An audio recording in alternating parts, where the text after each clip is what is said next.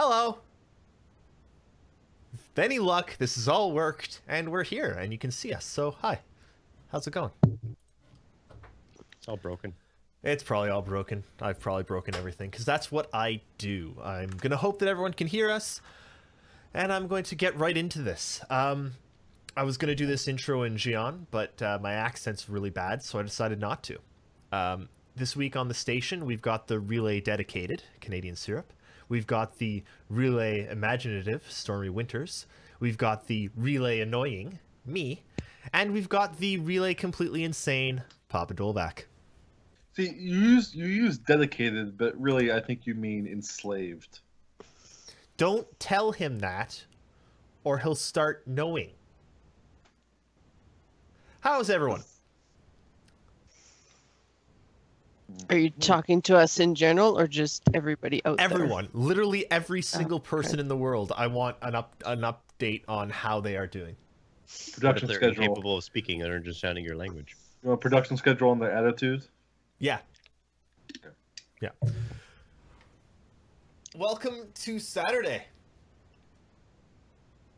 Well, Doesn't feel like a Saturday. It's not really to a Saturday. You're not like you don't welcome someone to a Saturday because like if you're welcoming welcoming someone to a Saturday, it implies like you're already there.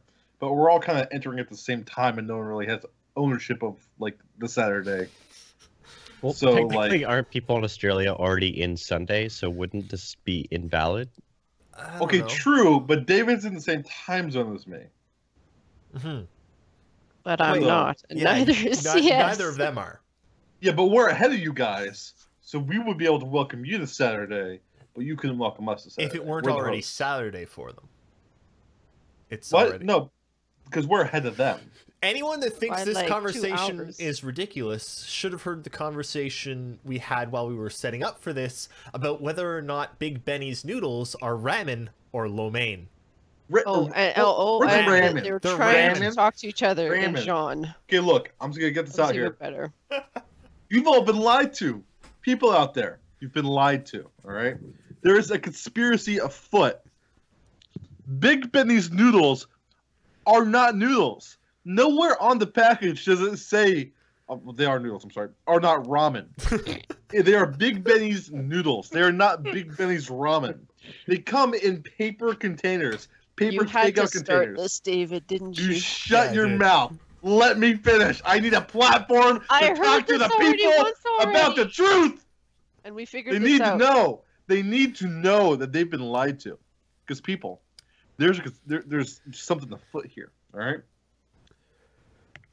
Big Benny's is not ramen. It is is lo mein or whatever other type of noodle you you want. It don't matter, but it is a dry noodle. It comes in a pl- in a in a non-plastic paper takeout container. There's no way that there's broth in there. It leak out. It's a noodle. It's not. It's not ramen. And anyone who says it's ramen is a liar. So thief. everyone, should remember Uh. I think that you should all now go out and ask Disco Lando whether Big Benny's is ramen or lo mein.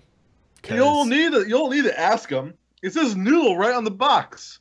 See, see, ramen is is a broth dish with noodles in it. Noodles are not the main component of the dish; they are merely part of the dish. Like you, What, you, you what got, if I just eat the noodles noodles. out of the soup and leave the broth? Then I still Then just it- eat it- the noodles. It would be the same thing as like that's like saying that like spaghetti and meatballs is like a meatball dish, right? It's like saying like it's like Big Betty's meatballs, but you open a can, it's spaghetti and meatballs. You you know what? You all asked for Dolvak again, and this is what happens when this you is what get you Dolvak. get, people. You get the truth. as far Oh. as you know. Oh, I know. Okay, so what happened this week in Star Citizen? There was. You, you okay there, CS? I'm, I'm fine. I'm just this, this, this is relay, I guess. Okay, all right. Um, This is relay. this is relay. Did you think we were professionals? We should probably address the the things that are like The right here. names? Sure. So, uh, about 20 minutes ago, Dolvak was like, we should do everyone's names in Xi'an. And then we did everyone's names in Xi'an. So these are what our names look like spelled out in Xi'an. For Or anyone the, wondering. these- the the closest interpretation of them. Yeah. Okay, to be fair, it did you put David on yours or Erris? Erris. Okay, so Canadian Surf has a longer username than you, yet his is two characters long. We, we Uh, just went with CS because we were. There's Oh, no you're too time. lazy. We did not have time to fully translate Canadian syrup. It would like be the entire page. I've been I've been neglected because apparently I'm too much work. It's just two letters. I'm not worth the effort, guys. Protest. Well, see see that stream of like four letters in the middle of Dolvak's name there? That's the O. Yeah. Well, I don't have an O in my name. True. I didn't, It's didn't consider good job. You- Mhm. Congratulations. Okay, so uh, as you can tell by our namey things, uh, they talked a lot about the Xi'an language today or this week in uh, in around the verse, the alien languages, Vanduul and Xi'an uh, special ATV. Um, first of all, CS, what did you think of them? Um, of both languages or Mhm. or specific one? I I think it's awesome. Um, I mean, learning more about how the Vanduul communicate is extremely interesting, considering the fact that not only do they ver- communicate verbally, but they also communicate by changing the color of their of their skin, like their their bioluminescent um, body. Like it's it's crazy to think that they've developed a sort of language that not only is separate from verbal but also can be used in conjunction. Like it's crazy like you know uh and the Xi'an you learn a lot about the fact that you know the whole is it Jean Xi'an you know how is it said? And actually having a specific reason for why people misinterpret that in the lore is really cool and it goes to show that they're actually like taking what's happened in the past couple of years from the community and interpreting lore and actually making something out of it. So I think it was uh, very interesting uh, as far as the episode's concerned, and I can't wait to see more. Uh, what were you saying with like the whole, um, you know, with the addition of like the bioluminescence and all like the gestures and all the the things that make the Vondul language kind of distinct to them? It's kind of interesting because it means that, in a way, it would be hard for like a human to be able to fully ever adapt and like adopt the Vondul language because they straight up don't have the, the correct biology to be able to like you know implement the correct tone and inflection of certain things because stuff like that does like require the actual hardware i guess. Hmm so like there could be some basic communication because they do have verbal language but um like uh to, you miss out context and stuff. It's kind of cool hmm It's it's kind of like from from Halo. Uh, what are they? The Borgs, like the the tall, um, blue dudes that usually carry the swords. What are they? What are their species? What is their race? I don't remember what they are. Yeah. But, but, but you guys know what I'm talking about, though. The guys that usually hold the swords and stuff, Yeah. and they go, "Argh!" Yeah. So those guys, like, their mouth opens in four directions, and they have to like, like reading the books. It's interesting hearing them talk because they have it's it's they're not designed that way. So it's kind of that way for um, brutes. Okay, yes, thank you, Nitro. so Uh, they, they have like a predator mouth kind of thing yeah, Yeah. so they're designed to like kill things and like, but talking like a human is really hard for them. But like Arbiter, he figured it out. So Uh, now, Stormy, Mm. as our mistress of fiction, uh, do you think that now that we are knowing, like, we're starting to find out a bit more about the languages and what kind of influences the languages and things like uh, the Vanduul communicate through bioluminescence and stuff, do you think that'll start expanding into fiction and changing how people. Because we haven't really known how to write stories based on an alien point of view so far because they haven't really given us much. Do you think we'll start being able to expand into new viewpoints for fiction? I hope so. Like this, this is the I I had a big problem with the way that this entire uh, episode was was what's the word? Um when it was released everybody had a bit of a knee jerk reaction about it. For people like me it's interesting because i write i like the lore the lore is important the lore is what makes the game. But we had so much kickback about oh where's my 3.0 crap? And it's just like like 2.6 just kind of came out not long ago and i understand people want gameplay they want to see mechanics and all that but there is no game with no lore and that's the biggest thing that i try to push out there is the fact that without the lore there is no game because there's no backstory. Game devs rely on the lore team for everything for any kind of consistency. So for them to get stuff like this out there to me is very important. So it helps expand that universe Yeah, definitely. Um, I mean, one of the things you see a lot in games is that, or in pretty much anything, one of the problems with Star Wars or Star Trek or any of those is like any any other races, they end up speaking human, right? And I'm Mhm. kind of hopeful that you're going to encounter Xi'an or Vanduul and just not be able to understand them.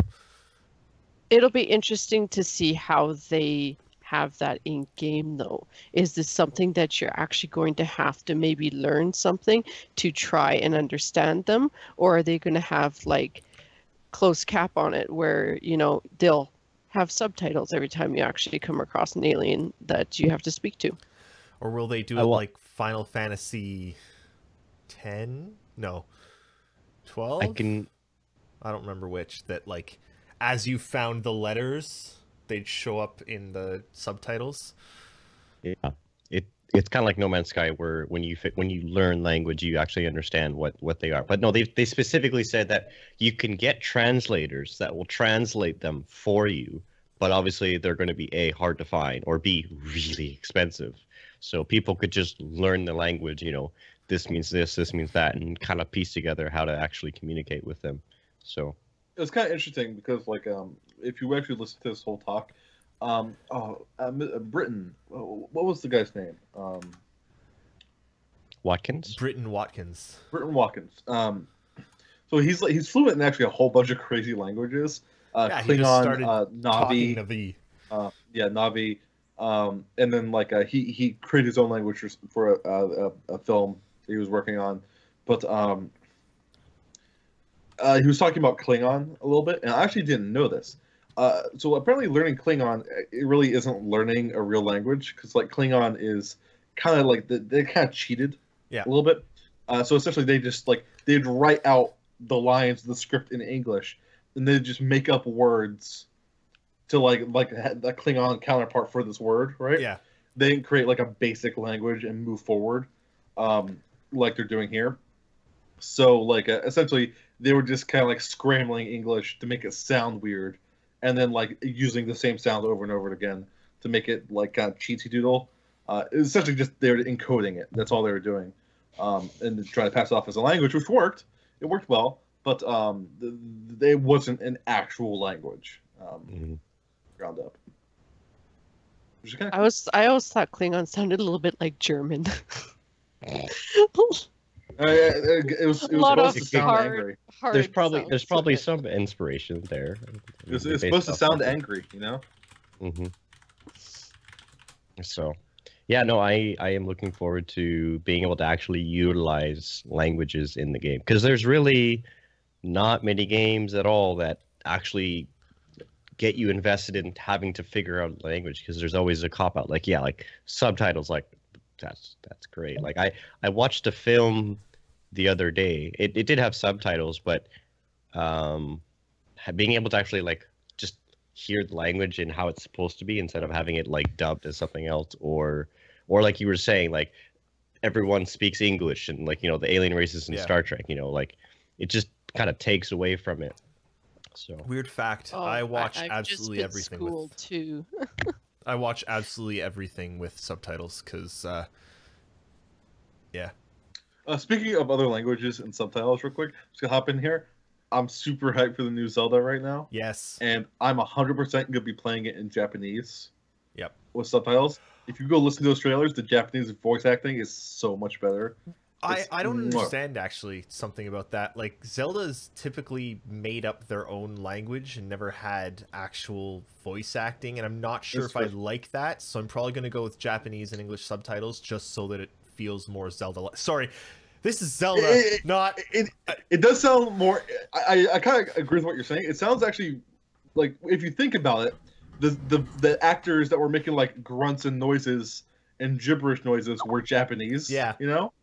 So like like I, I the Japanese one sounds more Zelda y, I guess. I don't know. I don't know. Sorry. Um, yeah, Star Citizen. Um, where I was gonna say, uh, actually no. Here's a question I have. Um, do you think that CIG should just straight up give us the way to learn, like the the language lexicon for these alien languages before the game comes out, or when it comes out, or like will people have to figure it out themselves? Well, th- th- they've said that they're going to. Um, Yeah. Like in this video, yeah. uh, he, he actually mentioned like uh like the all the codecs and, and the proper tools will be published for that stuff. Yeah. They Um, they, they um, want people to like To 'cause actually that would, be able to do it. because that would honestly like if, if I had to figure it out, I wouldn't bother. Like it would just be so much work. But actually having a template and being like okay, I can actually learn it. Kind of, even if it's not even ahead of time or at launch, like just actually have something. It it encourages you a lot more than having to, because like No Man's Sky, whatever, like having to learn the language on the go, like that was really, I mean, that was the content of the game. But at the same time, it's like But to be fair, if someone, some people are geared that way, where putting in that amount of work, and then once you actually get to that, where it's like, I now can understand it or speak it or or read it fluently, that's an accomplishment. mhm. And like I, I think there's actually going to be a, like a little bit of light fluency um, when it comes to just like people who are big into the game. I mean, because like um, if you play enough and you're in dialogue, and you see like uh, you hear like you hear some noise for like the 50th time, and you know you know in Jean that that translates to "I'm gonna fuck you up." Um, you're like, oh, uh, mm, this is turned bad, right? Like you you, you kind of know that, or like like that's the genre word for weapon, or that's the genre word for ship. You know, people Mhm. are gonna have a light library of that stuff. Um, like moving forward, if you're if they're big into the game, uh, and, and that's the kind of thing that they're kind of doing in the universe, that people will kind of have that in their brain somewhere. Um, but like uh, the people who there will be someone who like really bears down and learns that thing, and whoever it is is gonna be it's gonna be good. To be honest, though, if an alien was growling at you, looking angry, wouldn't you go the other way? But I it could be- stand it there could and wait to be understood. it, it could be that's exactly how they communicate in a peaceful way, like the Vanduul. They could be like, and it's like that's hello. I don't know. I mean, like, like at the beginning of that video, um, uh, oh god, I forgot the guy's name, um, but it, it's uh, it's, it's the uh, the black actor who's playing the Patrice? Von, the Vondel Prince. He's playing Pat- Patrice Prince is his name. N something. It's just the N. A prin- it's, he's, he's like a Vondel leader, Prince man. Yeah. Um, is like the character he's playing, and uh, like who knows what he's saying? Maybe he's like, "Bring me grapes." Uh, like you'll know who knows what he's saying. You know, like what what, what do Vondel I on? would Who like a milkshake. Yeah, exactly. Like who knows? Maybe maybe he's just a spoiled brat. He doesn't want to hurt anyone. He's he's a wimp. He's a Vondel wimp. He's royalty. He's spoiled. Maybe Mhm. all Vanduuls show up and they're like, "Would you like to see my wares?" And we're like, "Ah!" and start shooting them. And Dude, check out my awesome spaceship. It's like glowing red and shit. Oh no, what are you doing? No, that's yeah, that happens constantly. It's it's bad. And and Andy Serkis, he's just like casually like, oh yeah, there's you know you make these sound, and he's just making the sound like like he's just he already knows the language. Like it's like yeah, Damn. he's, he's good. You're also talking about an actor who did King Kong, Gollum, and like umpteenth other, you know, It's it's what he non-verbal species. Yeah. Dude, my claws taste really good. Let me just stick them in your face. No, wait, no, I'm not trying. Oh. No. So let's. So I Let's have to that mention this. Oh. I'm sorry, David. No, so no Fast. Car Go. said to me, and he's like, "It depends on the alien." He said, "If an Ewok growled at me, I'd want to hug it." It's it's true. very true. He has a point. But there, no, because look, here's the thing. Ewoks are cute and cuddly. No one is denying this. But you have to consider the fact that they they try to cook and fucking eat people. you know what? You know like, what they remind me of? mildly Well, well, horrific. they, they ne- you ne- Have you no, seen, one um, said they'd eat them. Oh, what's that? What's that stupid movie with? you don't with burn someone to death unless you're gonna eat them. You, look, look. If you're gonna burn someone to death, listen, What's- listen. If you're ah. gonna burn someone to death, you, just Well- to just to burn to death, you you tie them to a stake vertically. If you're gonna cook them, you turn them horizontally like a spit. So you Are get you even saying this from experience? Yes. Maybe maybe they he thought they thought they were cold. So David, you have to give more than what's that movie called to us? It's it's the one with the guy and the girl, and it's got the guy who played Snape. The guy and the girl. Alan Rickman. Yes. Alan Rick- yes. Alan okay. Rickman. There's, Uh, okay, so we know that there's a male and the female, and Alan Rickman. What about it? Like, Just keep second. going. Galaxy Quest. Oh, that one. That Tim Allen. Yes, Tim Allen. There we go. If you have, if you've seen Galaxy Quest and they come up on these cute little space creatures that they all think are really cute, they look like Ewoks, and then they bare their teeth and try and. Att- that's what the Ewoks would have done if they'd got far enough. They would have eaten them all. No, Dude, you like- don't know that. They didn't eat Ewoks Princess are Leia. a warrior ra- race. They they tried to take out. They they take successfully take out eight like like an ATSTs. AT-AT walker. Yeah, they they, Or they AT-ATs, successfully yeah.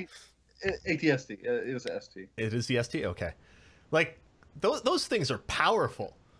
Yeah, Well, just they're, remember, they're an stormtroopers intense can't hit warrior shit. race, and they consume the flesh of their enemy, so they're imbued with soul power. Clearly, Sarah, have you not read the extended universe? I've actually always liked the theory that the reason the stormtroopers can't hit anything is because they've actually been ordered not to. They've been ordered to miss so that well cuz No, they've their been ju- their ordered by guns are Vader just to crap. miss. Their guns are just crap. Except the one guy. What was his? No, apparently, because someone that's figured not out true his because name. they miss a lot, and then eventually they hit. It's like- because because they're getting to the like you have to let because in the first movie they wanted them to escape so that they could lead them to Hoth, right? If they didn't get Mhm. away, they'd never know where Hoth was. So you don't want to kill them. You want them to escape, lead you to the rebel base, and then destroy the rebel base. And look at Yeah. them destroy the rebel base. They did that with much ease and alacrity. Um, They knew they were being tracked. You disgust me. This is such a like conspiracy now. Like we need to get back with them. yes, sorry. Well, I did. well, welcome to uh, welcome to the relay station. We are a Star Wars podcast that Hey, no- talk Star about Wars- Ewoks. recently that's actually possible again star wars has come back enough It's to the bad. point It's fucking terrible. Fuck Star Wars. I actually went and saw Rogue One. rogue one is excellent Not, I, no, I, I haven't, okay. I haven't seen it yet. I, I won't say any spoilers, but Star, I, Rogue One I- is a bad film, and I, I will told Canadian Syrup I loved and I hated it. So Well, you loved and hated uh, A New Hope, so rogue or one sorry, The Force is, Awakens. No, no, no. Force Awakens. rogue one Yeah, is my favorite yeah. star wars film but Han Solo died. It's bad, Well, some people may have not known that, so I probably wouldn't have said that.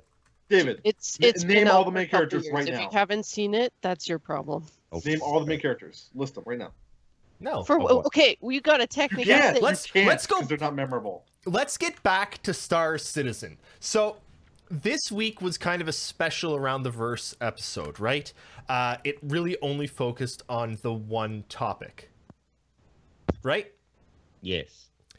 that's kind of different than they normally do do we prefer this format or not Special edition. Yeah. Yeah. No. No, I don't the, prefer. the, the, the pace that they had fallen into with like the new ATV format was excellent, and the, we were getting consistently good ATVs from that. Every few, every every so once in a while there'd be comment and one, but like they had been consistently good, and like I hope they go back to that format. Actually, I do want to take the time right now because a fair number of people watch us and listen to us for some reason.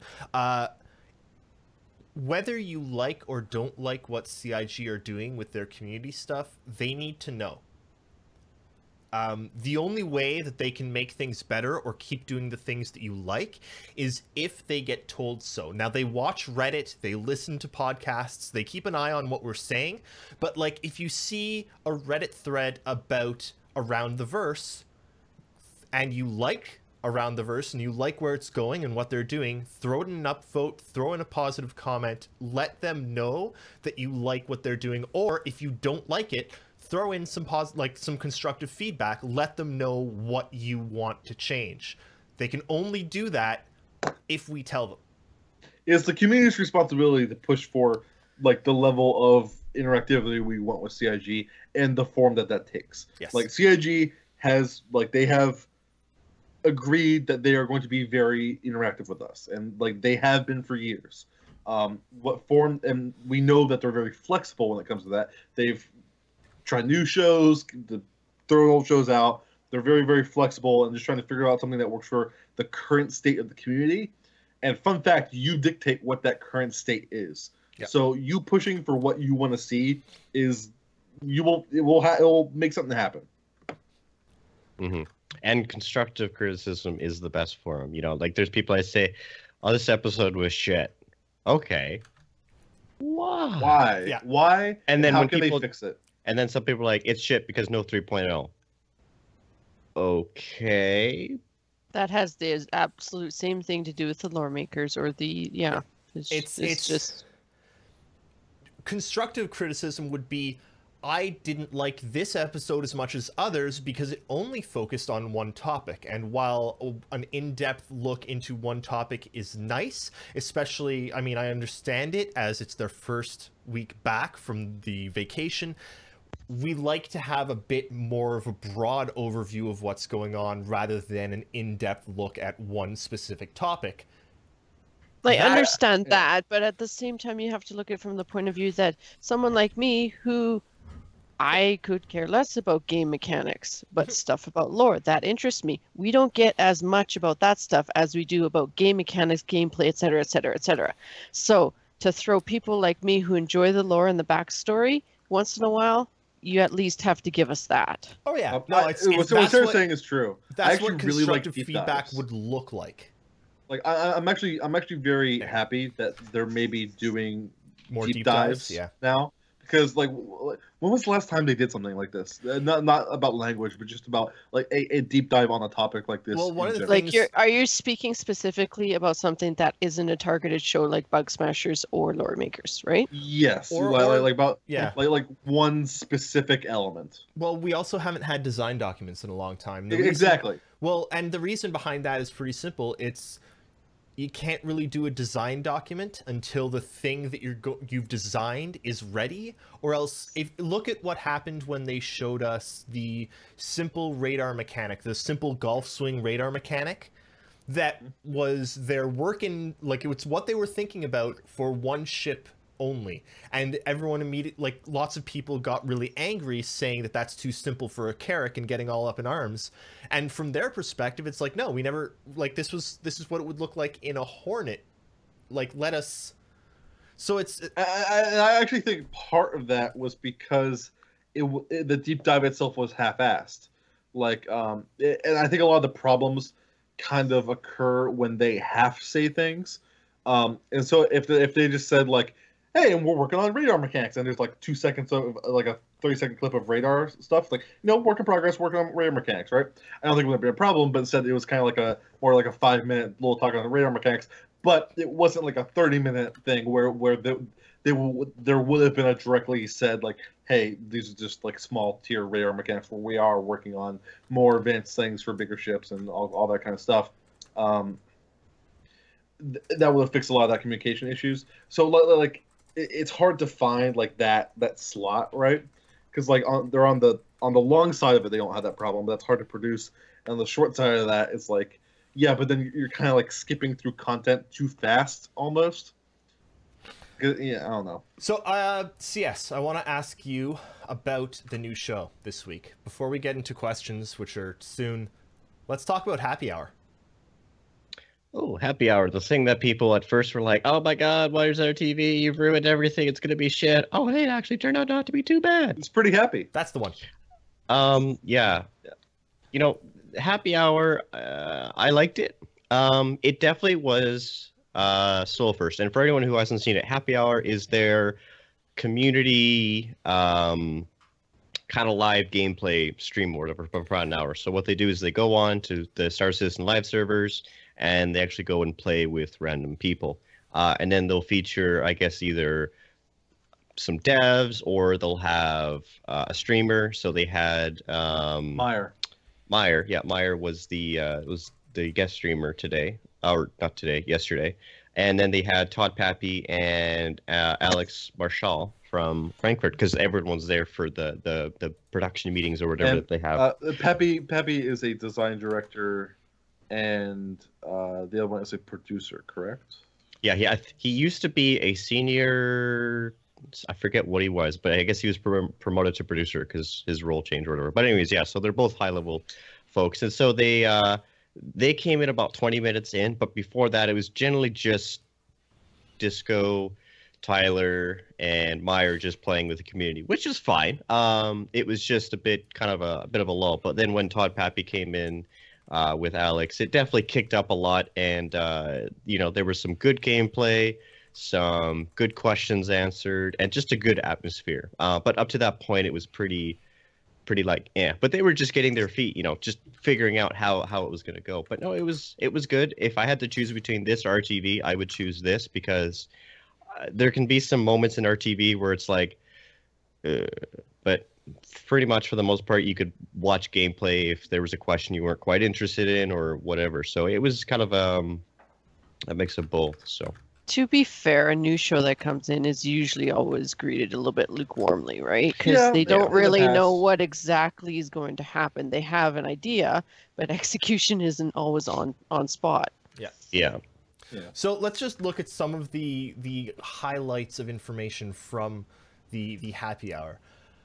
Um, 2.6.1 is being worked on. Uh, they're going to be coming out with a schedule like we saw for 2.6.0 sometime in the next week or two. Now, is that for 2.6.1 schedule, or is that the 3.0 and the Squadron 42 schedules that we were also promised? Do we know? just just 2.6.1 and then after that they will they said they will do the uh the 3.0 um 2.6.1 is going to have some necessary tweaks for star marine and just some general gameplay uh performance increase and stuff like that so Uh, they, they Um, actually mentioned directly that there are some things that um, there are some things that um, got left out of 2.6 on like a technical. yeah because they didn't Level. they didn't make it in time for for 2.6 it was it was cut out and so they'll they'll put those in for for it Yeah. so Um, so blood in zero G will exist, uh, but there's other things that take priority first over that. Uh, there's a ballistic sniper rifle in the works. They're designing different ammo types so that firing a different type of round makes a difference in what armor you're wearing. Uh, they're saying That that. what, sorry, go ahead. I was going to say that one's actually really cool because they kind of went into, uh, you know, when you're building your armor, because we know that you're going to be able to customize your armor a lot. Like, Yeah. you're be able to choose, you know, you want a heavy helmet, you may want a medium chest or light legs. Why would you ever do that? It's beyond me. Um, but you could affect how your character, like, it's not just you have light, medium, heavy. You know, you can actually mix and match in them, and that'll actually affect your attributes overall because heavy armor, you're really slow light armor you're really fast but you don't have as much um, uh, protection. And so giving a lot of variety to people in not only what armor they can wear but what they want to defend themselves against. You know they were talking about when you're on a planet you know you want to have more uh, biological protection you know radiation or or thermal. But then that might come with the reduction of you know ballistics you know you may get easily penetrated by those uh, something against lasers etc and so they really went in depth on how you could really customize that uh, from just yeah um, uh, they, just just the ammo types alone so They also was really apparently cool. talked about the difference, the a bit of the differences in the armors. Uh, it's not been Mm. approved by Chris yet, but Todd wants it so that light armor is fast and mobile on ground, um, whereas heavy armor is fast and mobile in EVA. Um, Mhm. s- because like it can that. equip better thrusters. I I do actually have a concern about this in that right now light armor seems useless Yeah. Why? Why though? Um. because you die instantly. Yeah. No, um, but okay, okay. To be fair, put this into perspective. If you're playing a sniper and you're hiding, wouldn't heavy armor hinder you? It would, but unless you're sniping wait, in right right now with light armor, you get one weapon slot. With medium armor, you get two. And they've With said light armor, if you are playing a sniper though, you only need one gun. not really. It's it's I'm I'm a bit concerned ab- about the way that they're going to take armor. Um, I've I've been concerned honestly since they said that only heavy armor would be able to carry sniper rifles. Now I believe they've finally they've gone back on that, but that is something that they had said a long time ago, and that really To No. be fair, though, it all comes down to play style, right? Yeah. Like when I play any FPS, and anybody who I've played with FPS will know will notice that I tend to favor one weapon. I usually don't switch. No, Mhm. here- here- I've actually been thinking about this, David, and I, I share your concerns with that. Um, after some thought, I think actually I know where the balance comes, right? Um, so you know, think about it that way. It's like, why would anyone ever use anything other than heavy armor? Yeah. Right. Um, well, he, he- I I figured out why. Well, i because in the universe, people who are kind of like playing on their own aren't going to be able to. Um, like, you know, you can't pilot a ship in heavy armor. Yep. Uh, you maybe can in medium, maybe not, uh, and you can in light armor. But um, but like uh, so you know, if you're on your own, you're rolling around the Hornet or whatever, you're going to be in a flight suit or you're going to be in very light armor. Um, you're not going to be in medium or heavy armor. Um, if if you are, you're going to be in something like like a Starfarer or a bigger ship with a crew, and you're not going to be doing anything on the ship. You're going to be the the gun guy, right? And so it is maybe a little fair for you to have better equipment, like by default, and so for the maybe someone else that you're ambushing or you're being ambushed by would have to stop, change into an actual combat focused suit to be able to do that. Um, I and just I, I, think that like the added bonus by it, if it's not super significant, which I'm hoping, it's okay if there is a like a added con, com, combat bonus to it. Um, you got to remember that you also have to carry this armor. You have to maintain this armor. Um, you you have to you know have somewhere to store it. You know maybe you can't store heavy armor in a freelancer locker Yeah. or a or you can't store heavy armor in a constellation locker. Maybe you need something like a military focused vessel, like a Vanguard, to be able to like, which is designed around more combat focused things. Maybe you know that's Mhm. the thing you need. Um, I, I guess I kind of worry that everyone will just wear medium armor. yeah, and I, I do think that's a problem, and I think that at the end of the day will come down to balance. Um, And it, it, and I, I- do think there is something to be said for limiting uh, how you can store and, and transport various types of armors. Because it's like like if if for instance like you know like you have your freelancer uh, not your freelancer i'm sorry uh, your hornet right? And like I'm, I'm gonna go do a mission on a planet and i'm rolling down to this planet and I, I land on the procedural planet i hop out. There is some storage area in the hornet. Um, it's just not it- it's for weapons and armor things like that. It's not for actual cargo cargo Right. um, so maybe I do have my heavy armor in my storage unit. I'm in my flight suit by default. I land my planet, and I actually have to go around to the back of the thing, pop open the storage unit, change it to my heavy armor, stick the flight suit in there, and then I can go do this mission. And but if like maybe if I'm under fire, if I have to eject, I'm not going to have that ready to go. It, it, it's it's a multi-step process. But someone who was already like took the sacrifice of having it on them already and wasn't able to operate a ship or ship components and stuff like that, maybe they would actually be able to, you know, pull something off like that. I, I think, like, I do think there's something to be said for balancing that stuff out with the ability to like maintain and travel with these things, and like like the transportation of armor is actually something you have to think about when it comes to balancing those things. Yes. Um, was there anything you wanted to add, David, before I continue? No, no, go. For air? Do it. Um, yeah, so there's yeah, there's definitely points I agree with um, with Dolvak. The transportation of said armor is going to be a big factor uh, because not everything's to be able to store that armor. The other thing too is while Star Marine is a very good benchmark for balancing a lot of aspects of play, it's one thing to be said is that a lot of the engagements we're going to encounter in the PU won't be the same as we encounter in Star Marine. So one big example being, let's say we're out in the terrain. Let's say we're out in the desert, okay? having heavy armor is going to be a massive detriment because you're open, you're exposed, you're this big, slow moving target. Whereas in your light armor, you're well able to move around, scout, and not to mention probably have some sort of a stealth armor, which will even lower your uh, your signature even lower. And so heavy armor is this big bulky target. It's huge. It's obvious. So that's kind of one of the big things where yes, heavy armor in a close quarter situation, 100%. I, I agree. It's going to be dominant because that's where its main thing is supposed to be. But in a more open area, you're more susceptible to other types of armors, which will be able to maneuver, flank, and all those sorts of things. So it's definitely going to be interesting to see how they balance it. But I think they definitely have the right idea of how they're going about it. But we'll see. Yeah, and like the thing to remember um, is that uh, like like we, it just in our head with like how video games have taught us for years. You know, you think of light, medium, and heavy armor as like like okay, better, best, right? Like that's how you think of them as in, in terms. But um, really, it's just like different, different, and different. Like they're all mm-hmm. different, and that's how they should be. Like mm-hmm. you know, it, when you were bouncing a video game, things should never really be better. They should just be different. You know, um, no Star Citizen doesn't have levels. It doesn't have these RPG mechanics.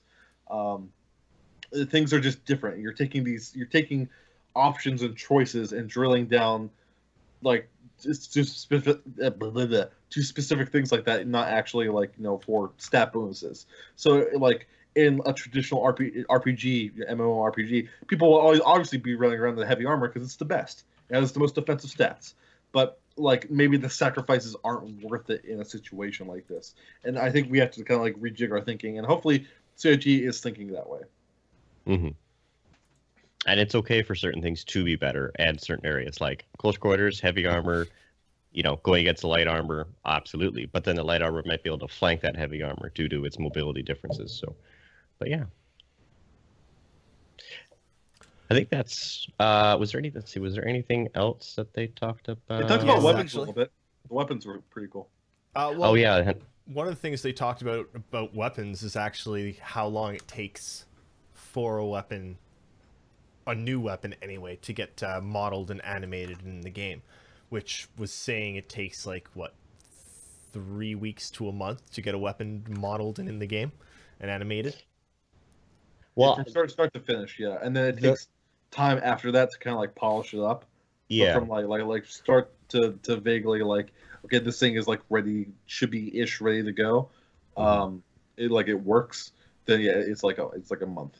Yeah. And some people are like, wow, why does it take so long? It's like, you understand, like, these things are, these weapons work like as a real weapon would. Like, the charging handle, the sights to mount the different scopes you want, and actually the proper um, dimensions for the person. And, you know, it's like I mentioned, I replied in the one thread is that more than likely the same classification of a weapon takes long, takes uh, less time than that one. Like they don't have any SMGs. Once they have an SMG, the other SMGs within that manufacturer will go way quicker because yeah. they have that baseline. It's like the Drake ships. Caterpillar's done. Uh, it's like MISC. You know, how long is yeah, it taking to throw out MISC ships now that the MISC baseline is done? Or mm-hmm. yeah. And once they've added more weapons to their arsenal, like they said, like they're they're wanting to get the basics, they want to get the foundation so that they can easily go, oh, you want this variant, done. You want this one, done. Ballistics, done. You know, all that stuff comes into play. So Just once you they have to get the base assets finished first. Yeah. So it's you got to get the basics down before you can do the other stuff. So, but yeah, like ballistic sniper rifles, like the you know obviously lasers. Oh hey, look there he is. You know. And like you know, as they move on and as they improve weapons, we're gonna get things that like not just makes like um, it's not just be like, oh, I, I, I had this gun now I want this gun because it's different. Uh, it's gonna be like you know you're gonna be changing modular modules on you, the actual weapon itself, and mm-hmm. so it's gonna be like I'm gonna I'm gonna have this attachment. I'm gonna use this type of ammo right now. We just have one type of ammo. There's energy weapons, and then there's not energy weapons. There's ballistics. Mm-hmm. Uh, there's gonna be multiple types of ballistics. You know, armor piercing, all all different types of of different options for different situations and being able to like drill down and customize weapons more than just hey it's it's it's this AR or it's not or it's the laser gun mm-hmm. or whatever. Um, I mean, so like, like right, right now, up fire right now it's your cost of of yeah exactly. know, because like like right now it's like, so yes, like your ballistic gun and my ballistic gun are exactly the same gun, but Mhm.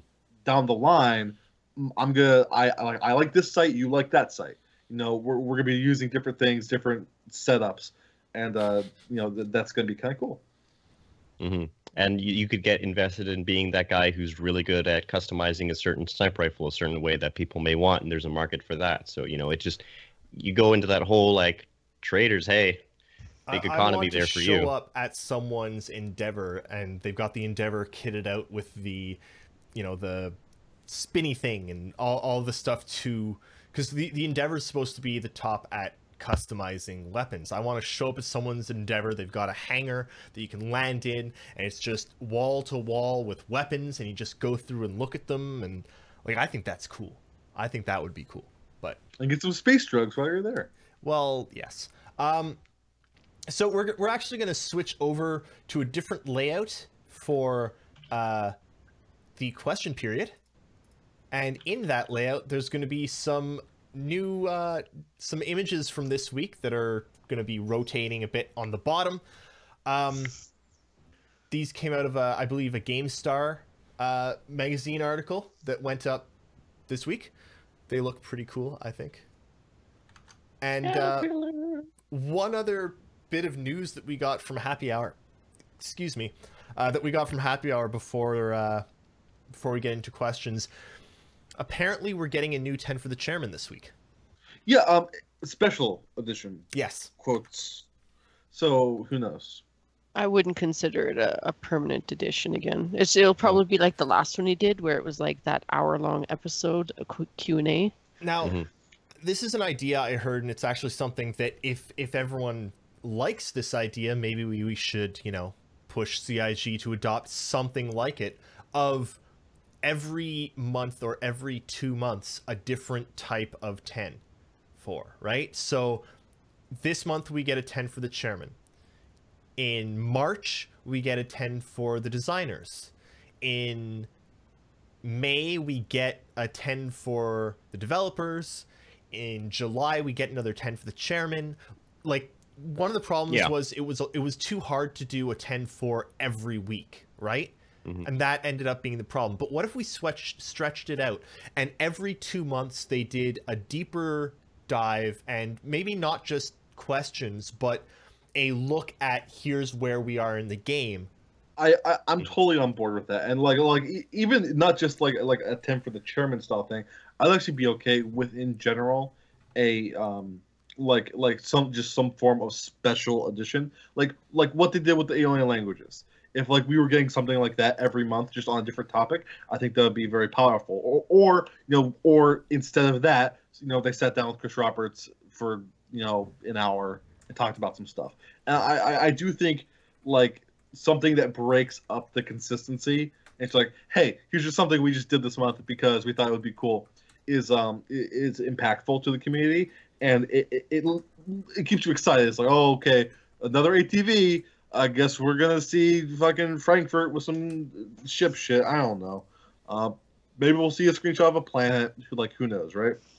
Mhm. Um, but uh, like, it, there's a monotony to it when you go on for so long, and having something that's like, who knows? It's kind of like the wild card show. I'd be okay with like the first week of the month, kind of being like a wild card.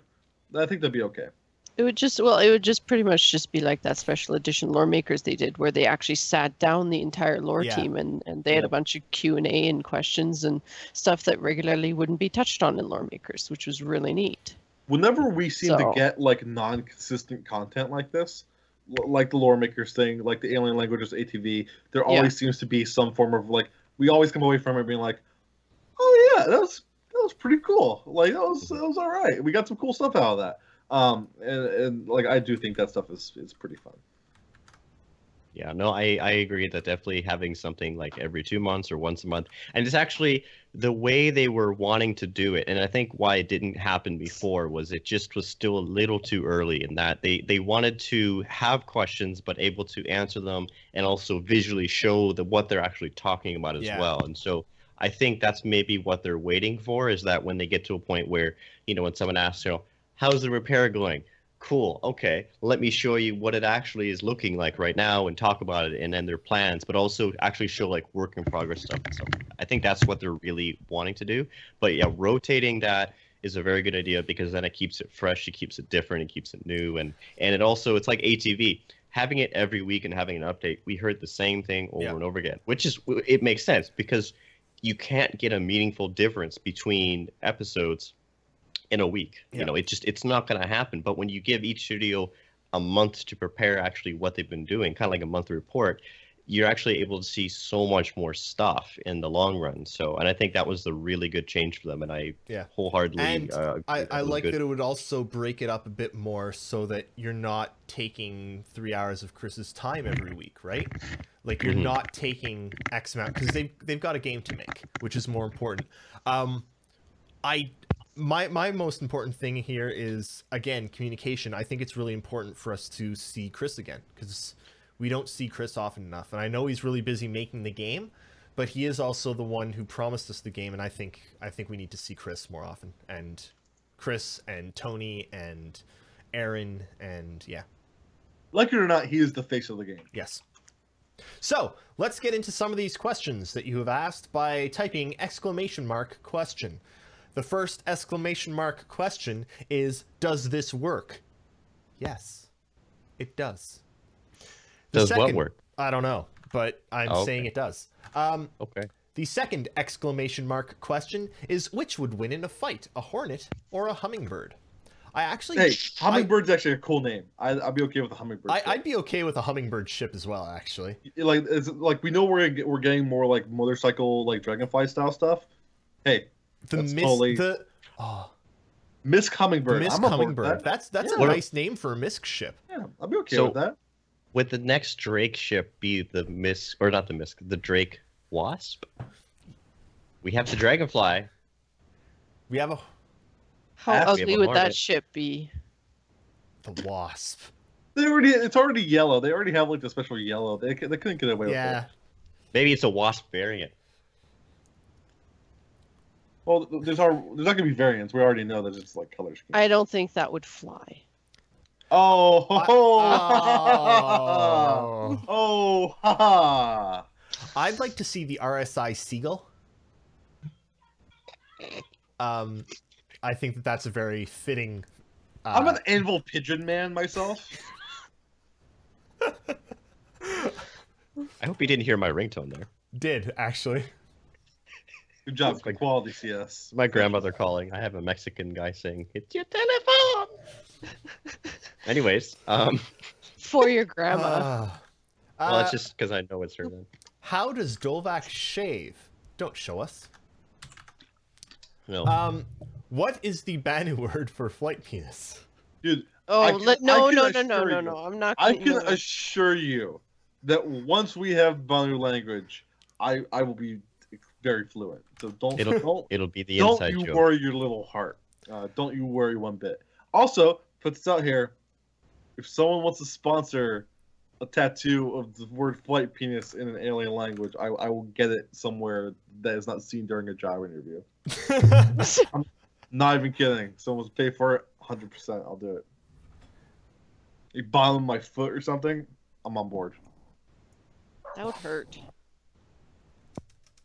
All right. Well, what other questions do we have? Uh, Uh, the next question is why can't David say concierge properly? I don't think there's a problem with how I say concierge, so really, No, no th- that's not the way you say it though. It's concierge. no, Look, it's he's concierge. Canadian. He's Canadian. They're all fucked up there. Who knows, dude? well, let me just. He could just check his sch- uh, schedule. He, Schedule. ah, ha, ha. you almost said schedule. You almost said said schedule It is instead of schedule. It's schedule. See, no, we have this big thing where he- CS says schedule. He says that's the way it's supposed to be, and I said schedule. Yet last night he said I'll have to check my schedule. It's like Quay. Q Quay. Q. Quay. Shiver, or- back me or- up on this. Or, It's or cute. generic. No, it, it's say that. absolutely cute. It's actually Quay. Um, Shut your mouth. You shut your goddamn Anyways, mouth, next David. question. where are David's cats? One of them is. Ex- They're running away from his pronunciation. Last last time he had the kitties around, he scared the crap out of them. Here's one. Because he fell off his chair. He fell off his chair and he scared the two kitties. Actually- Dog. Let's go back to this because you've seen those images a million times now. Here's one. This is Winston. Hello. Say hi, Winston. Say He's hi. got six to- toes. He does. Look at his paw. It's a giant paw. Winston. Everyone give hearts for Winston. Better see hearts in that chat. I'm Winston. gonna be mad. Um. Next, six times seven. No idea. I can't math. That's 42. Oh, that's fitting. Yeah. Um, CitCon plans. Not sure yet. I am hoping we can all go to CitCon this year. It is in Frankfurt. Airplanes are expensive. Try. Um, regardless of whether we can make it there or not, it'll be transcribed and analyzed and Covered everything as usual. and you can help out by going to patreon.com slash relaysc. Uh. That was weird. I didn't know we had ads run on our show.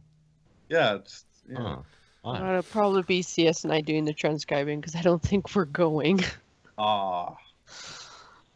Germany's a long ways away. I So know. someone, if so, if people help pay for it, sure, but uh, on our own incomes, no.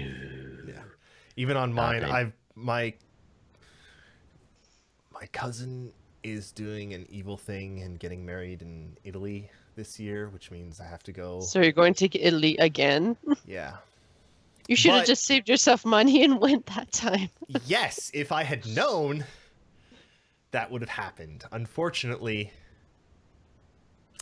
moving on. We should we should have an extra funding goal where we will transcribe it in Xi'an. No, yeah, no, like- no, like no, no, no, you- no. But it would be an no, no, no, astronomically high number. It would be an astronomically high number. Forty thousand dollars, and we'll transcribe all of CitizenCon in Xi'an Yes. Because guess who has to help you with that?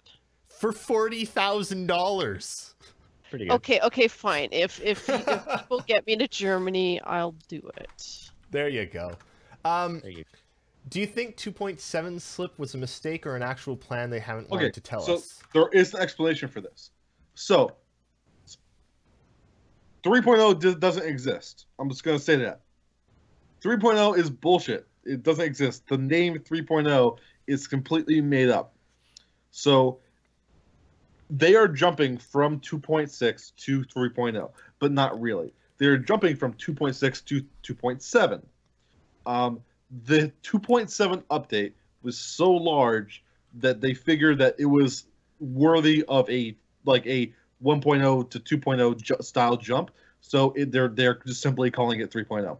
It's just a rebrand. So internally for months they were referring to it the the patch with procedural planets and the landing zones and all this stuff was always planned to be 2.7. But for it's simple it's marketing. It's marketing. Star Citizen 3.0 with procedural plants sounds better to someone who doesn't understand what's going on. It's true. Uh, that means like the general gaming community at large. So, um, I have a breaking news bulletin here from Jake it, Acapella. internally, internally, it was referenced as 2.7, and he- it's probably just a slip in his brain. Six nipples. Moving Okay. on.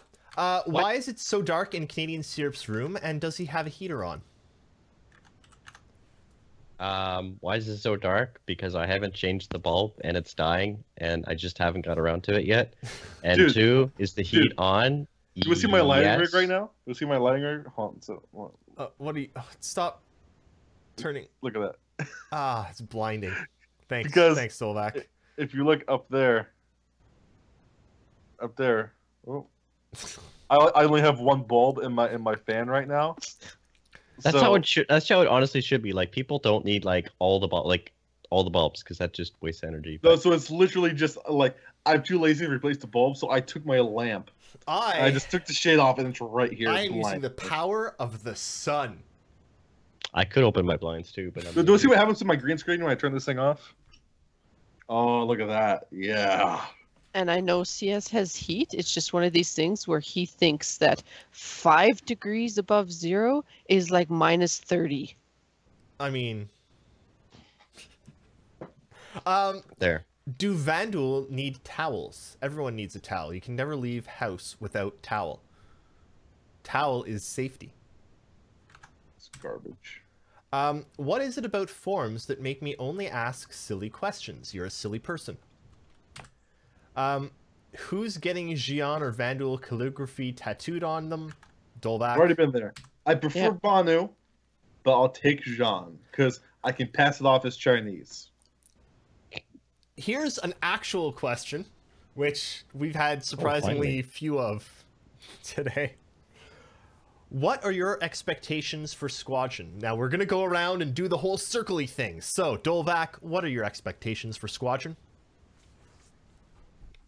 So, like, this isn't this isn't a very elaborate question. It- Does this mean time frame, quality? Um, uh, I shit, believe things he's that we're leaving, gonna see. I believe the questioner. They are leaving that to your own discretion. As an expert in what it is that you do, um, Okay, so okay, so time frame. I, I believe that we are going to see Squadron 42 this year. I do not believe it is going to be until the last second. Um, I, I believe rather I believe it's going to be until like up at the edge of of 2017. Um, I, I think that I don't think CIG can afford the PR hit of not getting out in 2017, especially when for the past few weeks they've been saying Squadron 42 is coming in 2017. If it like like no buts about it agreed. um they're well they might survive like the rage of the community like simply how they would appear to the gaming community at large would not be very good Yeah. and so i think even if it's buggy even if they have to cut some shit and edit it and fix it later it, it, it's going to come out this year um it's just it they kind of have to um now from a quality standpoint uh, honestly, who knows? Um, you know, like you know, from the tidbits that like we've kind of like heard and rumors, um, there, there's some really cool stuff, and like some of the stuff that I have like Illuminati'd out of CIG people uh, on occasion. Um, sounds Make it really, sound really like cool an inquisition. small, just a little bit. But um, like th- there's actually some really cool stuff, and some of the scenes in Squadron 42 are really kind of fun. Um, and sp- spoiler alert: that whole script that leaked wasn't. A lot of stuff wasn't in that, and like, it wasn't at all like. There's there's some cool stuff waiting for you down the line, and I I I, I don't even know half of it. So, um, I, I, personally, I am pretty excited for Squadron 42.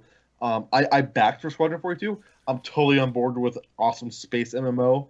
Um, but uh, like hook me up.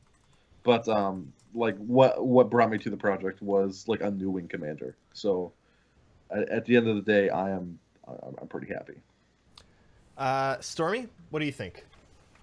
See, expectations is a bit of a funny word in that I have zero expectations for it. As in, I'm probably one of the few people that is just like, it'll come out when it's ready and not before, and I'm fine with that. So the mo that I can tell you what I'm most excited about though is just the entire whole story aspect to it. I'm the type of of of gamer that kind of likes following the storyline as well as having the challenging aspects to it as well. So when it will come out, who knows? I have no prediction on that. CS?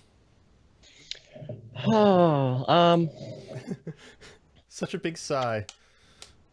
It's definitely a project that I've been excited for for a long time. There's not many single player games out there that really grab my attention and actually pull me into the story. It seems to be a very hard thing to do for a lot of developers nowadays because there's so much out there. But at the same time, they're not really putting in the effort to really get people involved in the game. And I think Squadron 42 is one of those games where it's either going to do it really well or it's going to fall flat on its face. And so I'm hoping that it will do well. Am I confident that it will?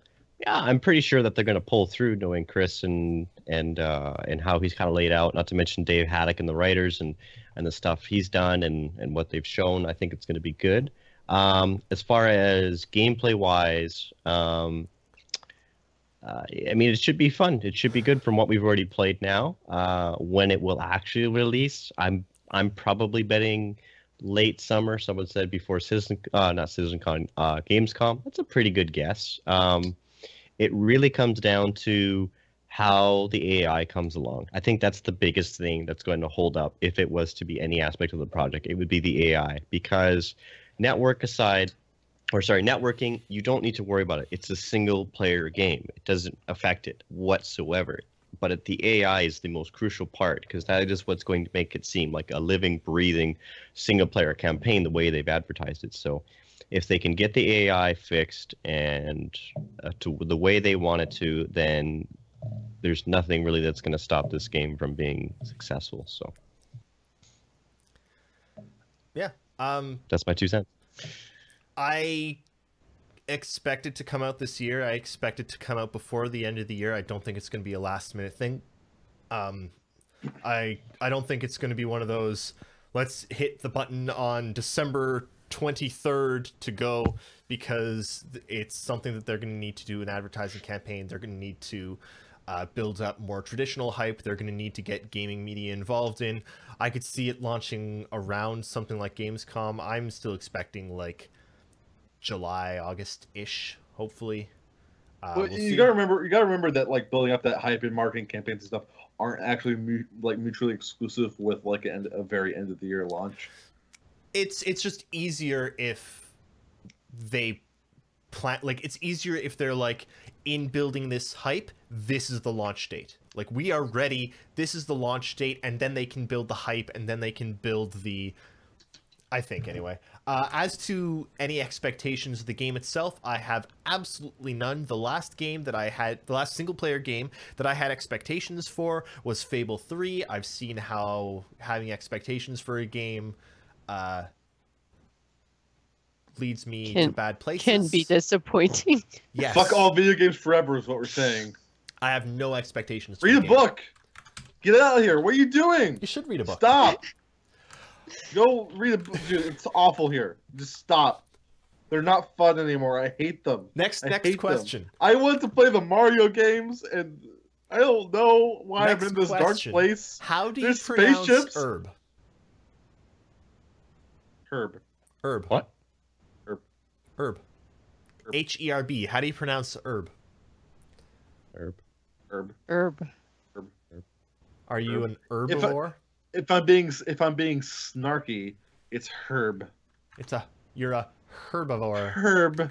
You eat. But no, her- it's herb. Um, Herb.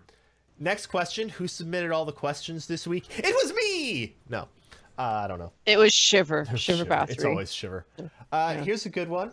Um, okay, have you seen the GameStar translation on Reddit? Not yet. I'll have to look at that. Uh, in it, Chris says every major item, including player placed items and buildings, will be persistent. That sounds impossibly insane to me. Elder Scrolls games are notorious for ha- having ballooning save files due to this. Thoughts? Okay, so this is very interesting. So looking at the file size thing, uh, you gotta remember that like these things are not joined because of like Elder Scroll stuff and like all that persistence. Th- that is not how Star Citizen is being built. Yeah. Um, if you actually like go and listen to uh, a lot of like the early tech talks on procedural planets, um, okay, if- you've ever played Minecraft or early versions of Minecraft, how the Minecraft procedural world is generated is generated in things called chunks, right? Um, and they're essentially these like these square grids of it's of a, slice from like the skybox all the way down to the bottom of the world. Um, and then it, it generates each of these and links them together, and they go out infinitely. And as you move out, it generates more and more and more chunks. Um, and so um, it, it- there used to be a glitch back in the day where you could find a chunk that didn't load properly, and it would just be an empty chunk from it would be a chunk error of just like nothingness from all the way to the top, all the way to the bottom. It's just like this fucking void. Um, it was kind of weird. Um, it's kind of gone now because they kind of like they've reprogrammed that game 50 times now. Um, but um, that's kinda how the procedural planets and Star System work. Kind of. So um, Everything. the, the every sizes of, the size of the plants the sizes of the plants are significantly too large to be to, to be loaded on your computer at one time and it's just fine because you can't see the entire planet at one time um, and so use of LODs so while, like, while you're on the planet you are on from horizon to horizon that is a chunk loaded and uh, the chunks aren't small little chunks like Minecraft they're large chunks of area Um, but like like you are on this chunk of the plant, and as you move, you are unloading things behind you and loading stuff in front of you. Um, and it's procedurally generating from a seed on your computer. And so when you think about file size, it's actually not that significant because literally all you have to have on your computer is like like the data for like these the buildings themselves, right? And like the building types. And then all you're doing is whenever you're loading a new chunk, all you have to do, the server just has to tell you, hey, here's the coordinates of this building, this building's here. And then your client's gonna load that. Yeah. Um, so when you're talking about file size, uh, that's not really an issue. And ballooning file size isn't something that's really going to be happening with Star Citizen. That stuff happens on the server, Server side. and and it just gives you the data that you need at that given moment. Yep. And it's not going to be really an issue um, because the storage is cheap, man, and they can have twenty thousand gigabytes of that stuff, and it, that's not even a lot. Um, that, that's pretty reasonable for like server databases. And every single item in the game is going to have its own unique um, ID because they've they moved to 64. One of the moves to 64. Tho- those two things are not exactly mutually exclusive, but you are correct. Yeah. Um, It's. Uh, so let's go to the next one. Uh, was it difficult for Dolvak to reintegrate back into society? I don't know. I'll let you know when he's actually integrated. wait, Um, wait, hold on. I have something for this. Wait, wait for it. Hold on. Wait, where is it? Hold on. Wait, let me find it. This is part of his integration process. Um, yeah. Greetings, humans.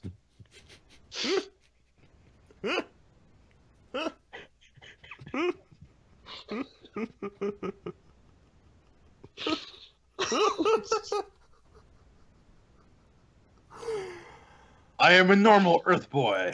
Okay.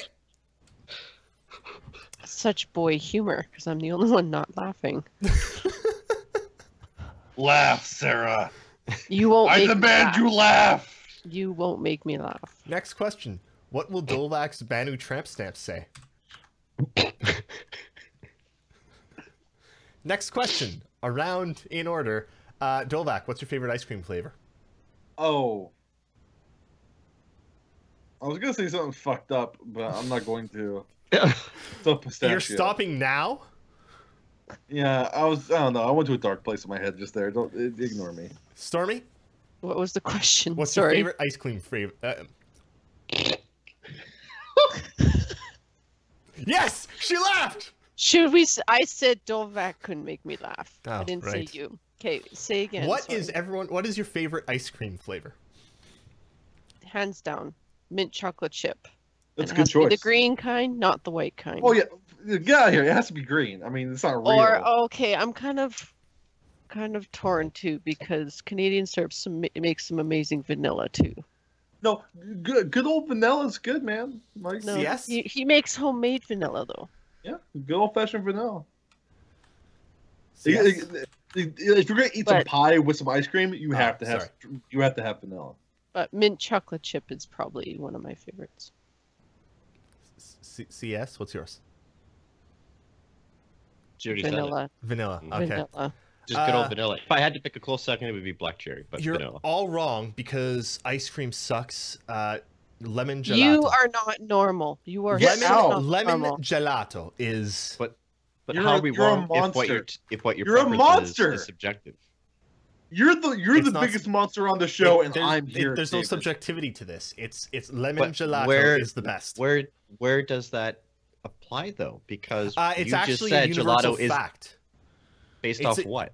Based off the way the universe works. Uh, next question. But Happy Hour seems to be a mix of uh, CIG employees and community streamers.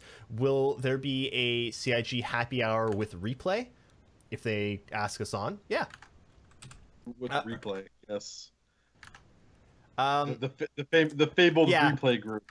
Uh, no, yeah, like like if you want us on, go harass them and tell them to have us on. Basically that's. So and now here's the thing: talking about community interaction with CIG shows, I actually very much like this. So there's actually been a lot of criticism with um with um like shows like 10 for the Chairman, uh, and whenever and, and ATV, and whenever specifically there is like a Q and A forum show about how they kind of like pick and choose their questions because everyone has a different view of what questions should have been answered and what questions should have been picked, right? Yeah. Um, but uh, they were actually taking questions from Meyer there, and he was he was actually drilling some good info out of them there. Um, and I do think that like actually having us like a trust community member there to curate some of the questions, like, hey, look, I'm in this shit every day. This is what I do. This is what we I want know to what know. pe- I know Yeah. what people want to know. Here's five questions that we really want to know. Trust me. Um, I, I, think that's intelligent. And like, if, if some guy gets up there, some community guy gets up there, some streamer gets up there, and it's like, "Huh, what's your favorite ship, Disco Lando?" Ha ha! Like, fucking get out of here with that shit. But Just um, off, throw them out. but like, if it, if they make consistently good decisions with the people they bring on, who are like people who are going to like like like go get um you know good good information out of them, um I, I do think it was good. And I I think that Yeah. their first pick- their first pick was pretty good. Yeah. Speaking Um, of, so, like, well Meyer- done, Meyer. Yeah, Props to Meyer. Pretty good. Um, he's in chat right now. Yeah. But you know, like uh, it, that that went for for for the eggshell dance that would would be bringing a community streamer onto an official CIG stream. Um, it was executed on pretty well, and I think it went it went pretty well. Um, and I, I do think that the correct way to do Q and A, if if they choose to do that in the future, is actually to have a community member perform it. Yeah. Um, because, like, um, honestly, they're just gonna get backlash no matter what they do, um, unless unless it's done that way. Um, and hey, at least they if it goes poorly, they have some some chump that can be like, "This is- "You asked the fucking questions." I don't know. Uh, I'm really glad you didn't ask what's your favorite ship question because that would have just driven me nuts. It's like we Oh know what his God. favorite ship is. It's the Starfarer. yeah. It's Dude, only, only you know that. You are you process so much information. You're the only person who knew, knows that. It, it we are at the point where we start we need to start getting good interesting questions again and uh, I, I hopefully the happy hour will be a good way to have that um, how likely do we think it is that the reworked cutlass will make it to 3.0 I think Definite. that's pretty likely It's it's definite because I'm not, I'm not feeling three, I'm not feeling 3.0. Um, like one of the subsequent patches, like 3.1 or something. Yeah, sure. Um, Well, the thing is, is we have it confirmed to be at least, at the very least, between 3.0 and 3.1 because they're doing the variants at the same time, and the Cutlass rework has already been underway for at least a month and a half. we had images of it last two. week Yeah, and so I, I'm pretty sure it's going to be because we had the 85X, the Caterpillar, appear in 2.6. Those were supposed to be in 3.0. So I think their pipeline is moving a bit faster than they expected. So I can only imagine that they are going to be working on the Cutlass Black. Also, we have started to we saw was it yesterday or the day before the Aurora has seemed to have entered its rework. We Yeah, had yeah. zero idea Yeah. when that was going to happen. Um, so that just goes to show that they are a bit farther along on certain things than we realized. So I'm pretty sure we're going to see it for 3.0. The variants, you, you gotta remember sure. that, like, like within the last like couple months, w- we're now in that period of like, hey, all those ship artists who were doing secret ship for the past like two years, those are done we we have all those resources now. And not only So- are the ship artists done, but all of the uh, the design libraries are done. All of the like they Yeah. they've got their Biz, design library Anvil, for Drake, Ar- Anvil, MISC, RSA. RSI, Aegis, I mean, so yeah, like like, like I, I will take that concession of like, hey, even Origin. I no. think. I'm not Uh, no, not Well, Origin. Uh, I guess Not the 85X was done separately. They're going to be. I guess they'll finish they that may- up when they, they- do. They may take reference, but the Yeah. fact that the 300i still has this rework to do the the jump is it the Origin? Yeah, it's the 890 jump. Is- Is they it- still need yeah, to do that. So that will probably be the flagship. If I had to make a guess, that'll be the flagship for their model. But Yeah. Uh, and like the thing you gotta remember is that like um like, like that look at the pro the, like the pace that they've been kicking out Drake ships lately, like like like Dragonfly, cut uh, not Cutlass, um you know Harold. uh, Herald, Herald Caterpillar, uh what else? God, uh, that's that's all the Drake ships, right?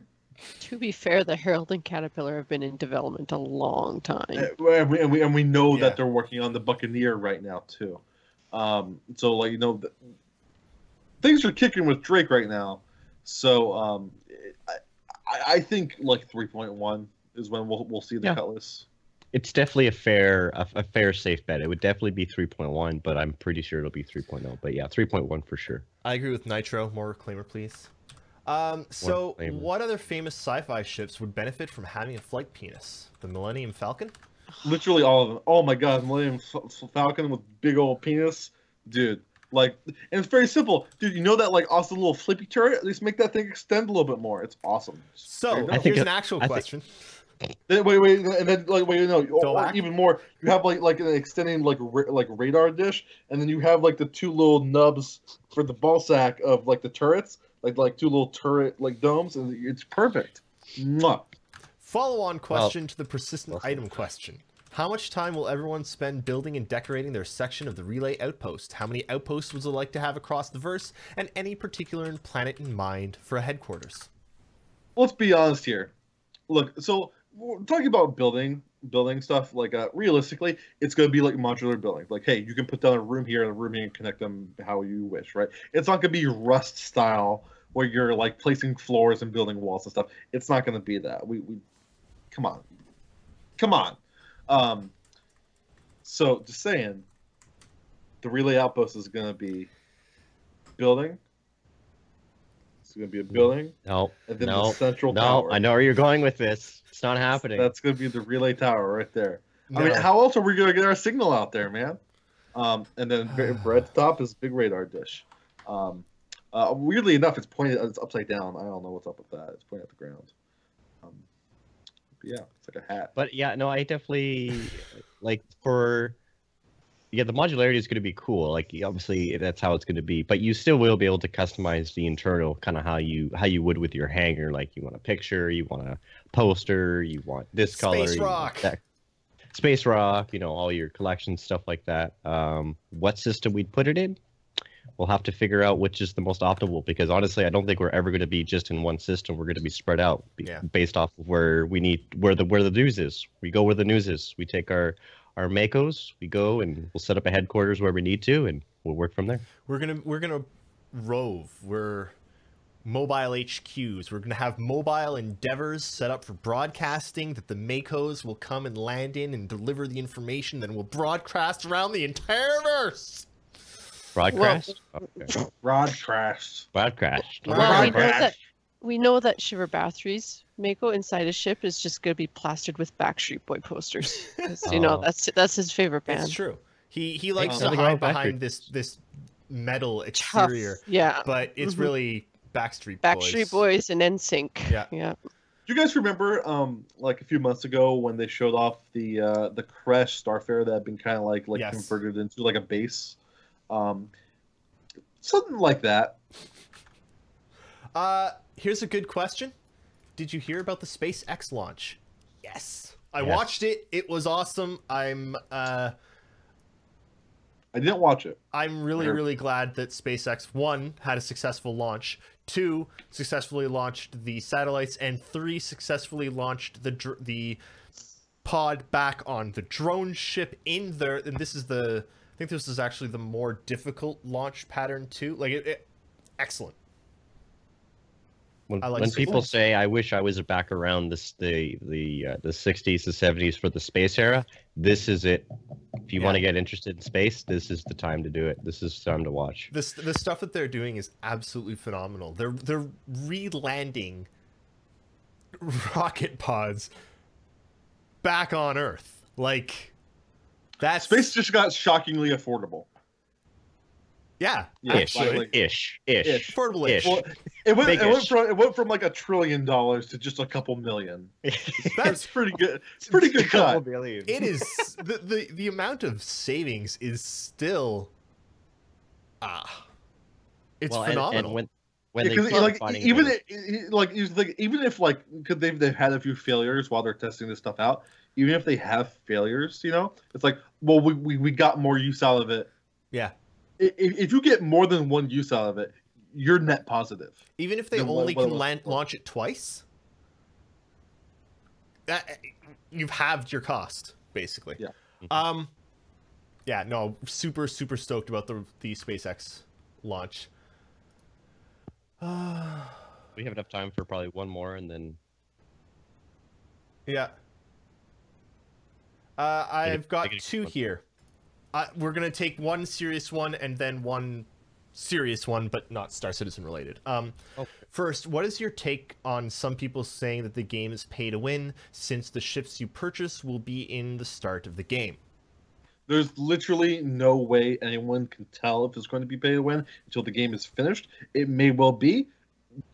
Balancing is critical. Th- There's no way to tell. Like it's it's a reasonable thing to say. This game kind of looks a little bit pay to win.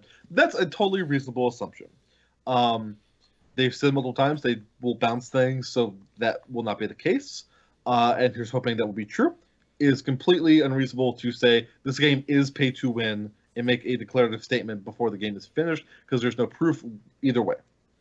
if they are successful in getting what they wanted to way back and having it the universe be populated by about 10 to 1 like 10 ai characters to every human character that plays then no i don't believe it is pay to win because you're mostly playing against computers and you can't really outbuy a computer player. Cs stormy? Um, so without a shadow of a doubt, it is 100% not pay to win, and here's why. Um, if anyone in chat uh, has heard of World of Tanks, you will know exactly where I'm going with this. If you have not, you will understand why. So World of Tanks has the ability to buy something called premium tanks. Now in World of Tanks, there's tiers one through 10. You cannot buy tier 10 premium tanks, but you can buy tier eight premium tanks. Now these things are 40, 50 bucks. They are not cheap, and you could buy it you could create account, free account, buy one of these things straight off, go right into 8 game. Here's what happens. Your ass absolutely gets smashed because people have spent their time grinding from tiers 1 through 8, understand how the game actually works. So if someone wants to take their brand, you know, brand spanking new Idris and expect to kick ass with it, they are going to be thoroughly disappointed because it takes a a lot to run an Idris in the first place. So you could get it out of the gate, but then within an hour or two, you may suddenly run out of fuel, and now you have no credits to even make the thing go. Two, you could lose the ship in a matter of an hour because you're being so reckless with it. And three, you may not even know how the freaking thing works. So, uh, you know, people may buy a Super Hornet, whatever, and expecting to just dominate. But if they have no private pr- um, prior flight experience, and even if they do, it's like David said, there's going to be the whole a whole bunch of other AI around you, which will make it a lot harder to actually dominate everything. Because chances are, you go kill a cargo ship, someone else is going to hire a hit, put a hit on you, or they're going to beef up defenses, something. There's going to be ways that that's going to prevent people from just being the almighty powerful. So. It, it's interesting enough. If you actually go look online on the RSI website right now at the like leaderboards, um, there's like one dude. It, it's kind of interesting because it's all like um, it's like sabers. Sabers are really good right now in the latest patch. So it's like saber, saber, saber, hornet, hornet, super hornet, saber, saber, saber, um, uh, vanguard, vanguard, vanguard, and then like one aurora, and they're in like the top ten. It's like that's what it is. And so um, um, if you're good enough, you can make just about anything work. Um, it's kind of like Overwatch. It's like um, in Overwatch, it's like, oh my god, dude, you gotta play the meta. These characters are bad right now.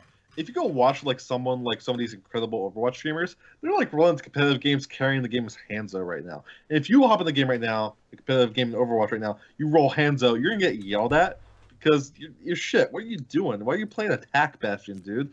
But look, the the secret is you're just bad, and that that's the secret is everyone is bad at video games except for the other guy, and that's that's always how it's going to be. Um, when this game comes out, I, I, I, I foresee a lot of salty freelancers getting destroyed by auroras, auroras Yes. and mustangs just kind of eating things, and people are like, oh my god, I di- I didn't even put my shields up because I thought it was, an, Aur- it was just an aurora, and then they just, just get destroyed by it. So that question took us a bit longer than I expected, which means we have passed the time for What was the last question though? What Uh, was that? Eh, it doesn't matter. It's lost into the ether. It's gone. I'd be interested. Uh, it was. Uh, what are your feelings about having a CIG Leia for episode nine? Leia? L- Like Star Wars. Star Wars. Yeah, that's what I meant. Yeah. Um, look, look, I No. Uh, no, I'm not, ju- not yes talking, or no. Not, That's not all talking we about, need. Yes not or talking no. about the quality. Not talking about the quality of Rogue One. That's not what we're ta- discussing here. Uh, like, like CG Grand Moff Tarkin and CG Leia were fucking atrocious, and th- I just wish they had written them out. Why, why not One. just say no, Dolvak? Short answer. no? Okay, there. I I think it depends entirely on what her their uh, her estate decides. So, um, with that, Dolvak, do you have anything coming up this week? Yeah. Um. Okay. So. Um. Okay, Stormy, do you have anything coming up this week? Well, I hope there's fiction on Wednesday, but as of right now, since you and I are the only writers that are on staff, I will hope to write something for Wednesday. If you can't, I'll churn something out. Uh, if you're out there and you're interested in writing some fiction, get in touch with Stormy because uh, yeah, we like fiction. Um, CS, Uh, well, next week should be pretty busy for transcripts. There's Monday, which is the special 10 for the Chairman. Yeah. Uh, Wednesday, Bug Smashers as usual. Uh, Thursday, they're going to have the regular ATV, as you know, so studio update. Uh, I don't know what segments they will have, but have something like that. Uh, and then Friday, mm, I'm not sure. I'll have to see. Is it? It's either going to be an RTV or it's going to be another happy hour. Probably another happy hour, I would imagine, because the success of the previous one. So and Look we will forward to be that. we will be doing notes from happy hours, correct? yeah, so it'll be pretty much the same. Like, because we weren't really sure what was going to happen. Like, we didn't know if this was going to be just, you know, streaming and just games, and like we didn't know if there was going to be a Q and A in it. So there more than likely will be if, if it's the same Yep. format as before. So Cool. Uh, Uh, and on on on the site right now, uh, just this week, uh, we, David, you, you'll, Sure. you were there for this. We put out a uh, small little podcast, uh, kind of go kind of going over our um, thoughts on the year 2016 and how it affected CIG and Star Citizen development. Uh, you can go you can go find that disaster, and it's actually kind of a relay's first uh, hop into pre-recorded podcast and audio um, content. Um, and if you kind of if you like that format and you like like you know more pre-recorded audio, uh, go listen to that and you know let, let, us, us know. know. Let us know, and you might see more of that in the future. Yeah. Uh, and if there's other stuff you want us to do, let us know. Uh, we're going to continue trying to improve. We've got updates coming to the sites and how we do various things. Uh, for anyone else that wants some more content tonight at 6 o'clock Eastern, uh, Mr. Jake Acapella will be up on the captain's table over at uh, twitch.tv slash the astropub. Uh, so, yeah. Oh yeah, and uh, speaking of Mr. Mr. Astro Paul, uh, Mr. Paul Shelley just got um, partnered, so you should go check him out and, and give him some love Yep. because he's done a lot of cool stuff for the Sources community in general. And you should go touch his butthole and and let him know that I I, I told you to say that. Um, How did I end up on this one? This How did we of, all of, of all shows? I I've been on this podcast like three times, and you know, Shiver was supposed to be on. Then he's like, "Oh no, Dolvak, come in." I'm like, "Okay, we're it's gonna be okay, right?" It's never okay with Dolvak. I'm sorry. I'm sorry. we're gonna go make Soma. Sarah a strong drink after this. Well, from all of us here at Relay, we'll see you in the verse.